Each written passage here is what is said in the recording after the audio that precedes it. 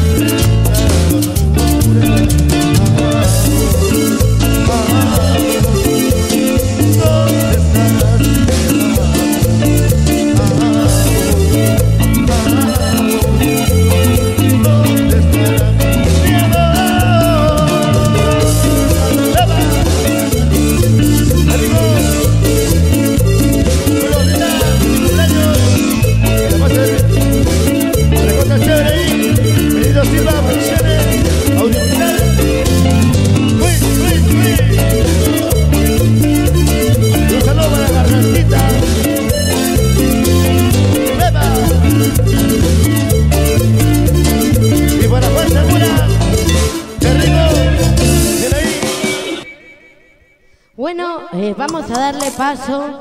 Ha llegado Jacqueline Patricia, la reina del guayno, claro que sí, ¿eh?